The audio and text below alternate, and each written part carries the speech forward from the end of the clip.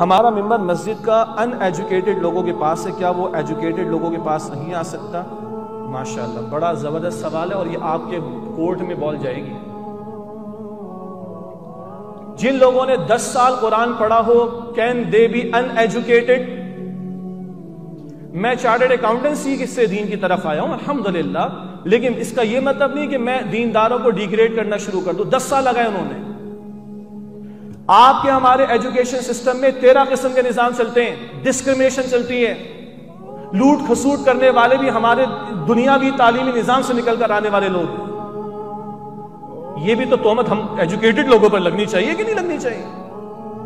Main stream line school को चलाने वाले अक्सर कौन लोग हैं? दुनिया दुनियावी तालीम याफ्ता। तो ये तो हम पर तोहमत आएँगे। और आप फैसिलिटीज़ देखिए इन मदारिस को चलाने वालों की। क्या फैसिलिटीज़ बेचारों के पास?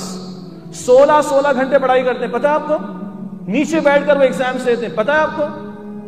आपको मुझे चार किताबें जबानी याद नहीं हो सकती। इनको बीसियों किताबें क्या? सैकड़ों रिवायात जो है वो जबानी अरबी में याद होती हैं। चाहिए एजुकेशन नहीं है? तो खुदारा तोहमत ना लगाए।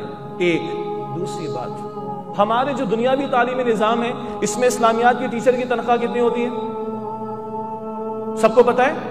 सबसे पतली किताब इस्लामियात की, सबसे कम क्लासेस इस्लामियात के लिए, सबसे लो पेड टीचर इस्लामियात का। तो दुनियादारों ने दीन को कोई प्रायोरिटी दी ही नहीं तो प्रायोरिटी है किधर दीन? की बच्चा कुरान पढ़ता है, पाँच सौ रुपए माँगता है, अगर मौलवी तुम परेशान होते, पाँच सौ रुपए मांग रहे हो।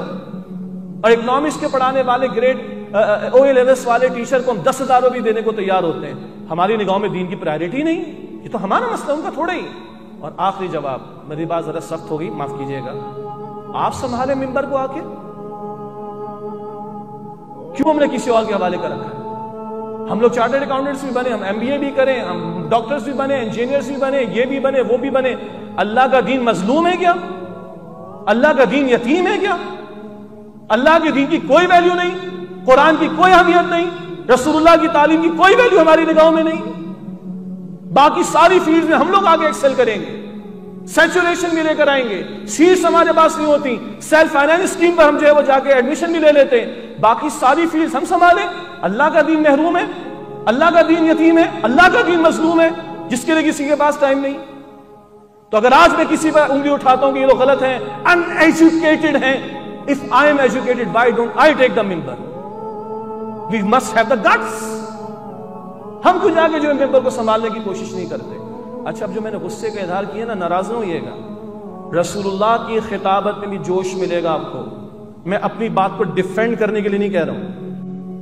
रसूलुल्लाह की खिताबत में भी जोश मिलता है, रसूलुल्लाह की खिताबत में बॉडी लैंग्वेज भी मिलती है, रसूलुल्लाह की खिताबत में चेहरों के एक्सप्रेशन मिलते हैं, और रसूलुल्लाह का चेहरा जो है वो सुर्ख भी होता था कभी सल्लल्लाहु अलैहि वसल्लम। Not to defend them but to encourage you we should become मैं अल्हम्दुलिल्लाह पिछले 16 बल्कि 18 साल से जुमे की इमामत कर रहा हूँ, अल्हम्दुलिल्लाह। जब मैं फर्ग्यूसन में था, पाकिस्तान की लीडिंग फर्म में चार्टर्ड अकाउंटेंसी की, उस दौरान भी जुम्मे की इमामत मिल गई थी, अल्हम्दुलिल्लाह। इस प्रोफेशन को मुझे इजाज़त दीजिए, दीन के प्रोफेशन की बात करो not for the sake of income but profession कह रहा हूँ, जहाँ बंदा अपने आप को खपाता है, इसको बाय चॉइस इख्तियार किया है।